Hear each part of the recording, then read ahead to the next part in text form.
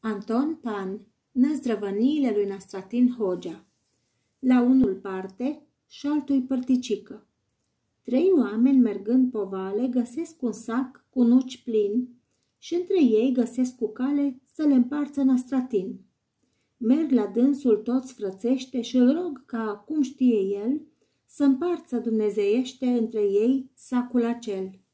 Nastratin pe loc se scoală și un pum de nuci umplând le aruncă unuia în poală, numai așa, nenumărând.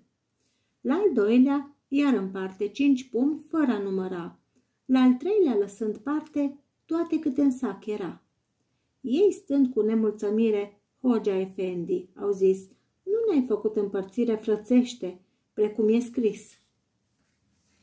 Neghiobilor, el le zise, voi m-ați spus să împărțesc eu după cele în minte am scrise, să vă împarți ca Dumnezeu. Dumnezeu astfel împarte, unuia dă mai puțin și altuia face parte sacul să-l ardice plin.